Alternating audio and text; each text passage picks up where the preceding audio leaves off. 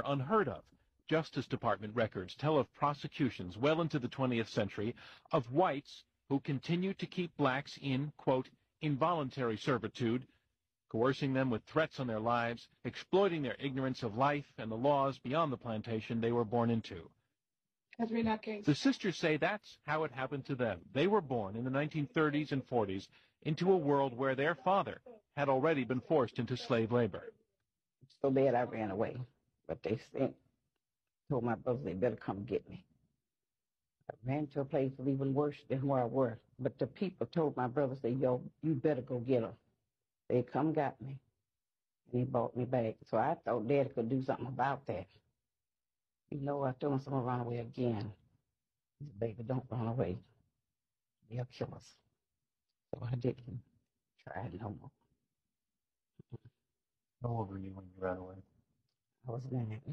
You're nine. Mm-hmm. They beat us. I said they didn't feed us. We had to go drink water at the creek. We ate like hogs. We didn't eat like dogs, but they, they bring a dog to a certain place to feed dogs.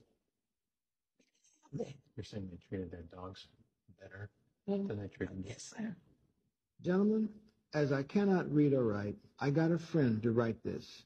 I never in school in my life. I worked on this man's farm all my life. I didn't get a cent for my labor until I ran away. I am 35 years old. This letter resides in the Library of Congress, and there are many others like it, archived through the early 20th century by the NAACP.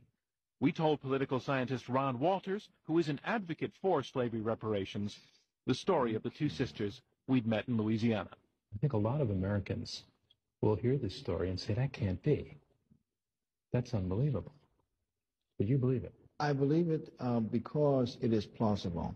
Uh, one of the things I think we know is that uh, these letters uh, tell us that a lot of these places uh, that they were kept in bondage or semi-bondage conditions uh, in the 20th century were out of the way places Uh, where the uh, certainly where the, the law authorities uh, didn't pay much attention to what was going on.